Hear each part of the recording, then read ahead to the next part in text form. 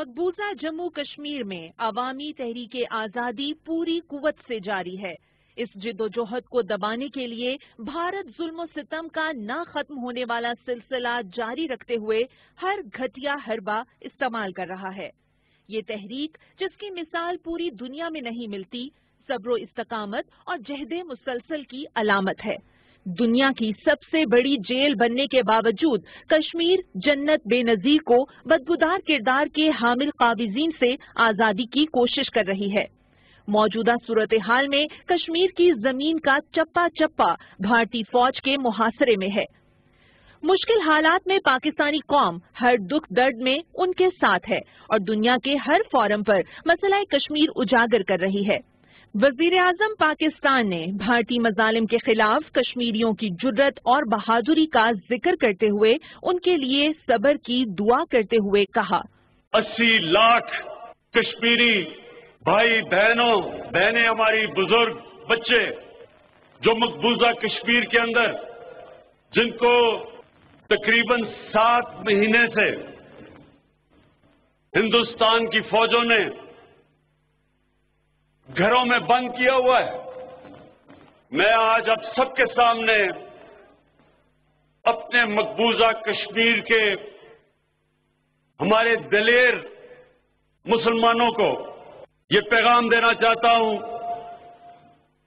کہ ساری پاکستانی قوم آپ سب کے ساتھ کھڑی ہے اور اللہ نے مشکل وقت پہ صبر کرنے کو ایک انسان کی بہترین صفت سمجھی ہے۔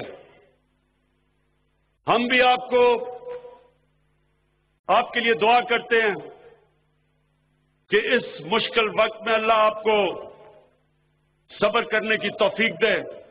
بھارت کی فاشسٹ حکومت نے مسئلہ کشمیر کو عالمی برادری سے چھپانے کے لیے ہندوستانی مسلمانوں کے بنیادی حقوق کو سلب کرنے والا شہریت بل نافذ کیا۔ پورے بھارت، خاص طور پر دہلی میں، جہاں مسلمان اکثریت میں ہیں۔ خفیہ ایجنسیوں اور پولیس کے ساتھ مل کر مسلمانوں کے خلاف دور جدید کا ہولو کاسٹ کر رہا ہے۔ سینکڑوں مسلمان عورتیں، بچے اور نوجوانوں کو شہید کر دیا گیا ہے۔ اس بھارتی دہشت گردی کا ذکر کرتے ہوئے وزیر اعظم نے کہا بیس کروڑ ہندوستان میں مسلمان ہیں۔ جن کو آپ نے دلی میں دیکھا کہ پولیس کے ساتھ مل کے آر ایس ایس کے گنڈوں نے جس طرح ان کے اوپر ظلم کیا، اللہ الحق ہے۔ میں جب دنیا کو کہہ رہا تھا کہ یہ انتہا پسند نریندر موڈی کی حکومت ہے،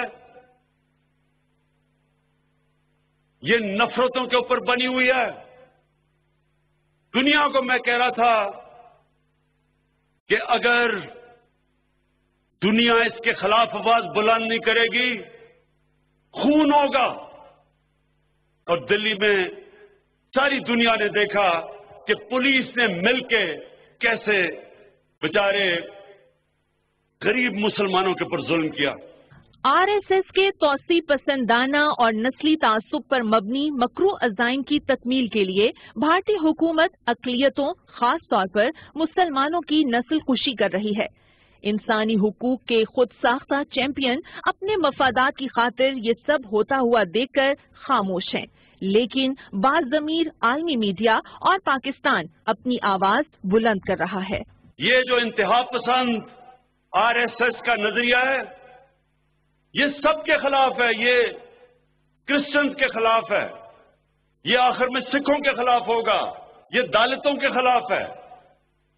ایک نفرت کے اوپر یہ جو بنا ہوا سارا نظام ہے، انشاءاللہ اللہ اس ظلم کے نظام کو ختم کرے گا۔ بھارت جتنے مظالم ڈھا سکتا ہے، ڈھا رہا ہے۔ کوئی خاندان ایسا نہیں ہے جو بھارتی مظالم کا شکار نہ ہو۔ مگر بھارت کے انسانیت سوز مظالم بھی ان غیور کشمیریوں کو حق خود ارادیت کے مطالبے سے دست بردار نہ کر سکے اور کشمیریوں کی جد و جہد روز بروز شدت اختیار کر رہی ہے۔